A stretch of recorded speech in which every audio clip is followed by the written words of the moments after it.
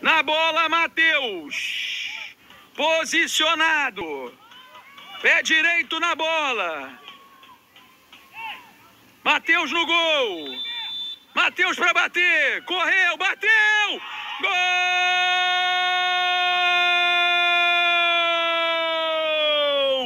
É do americano.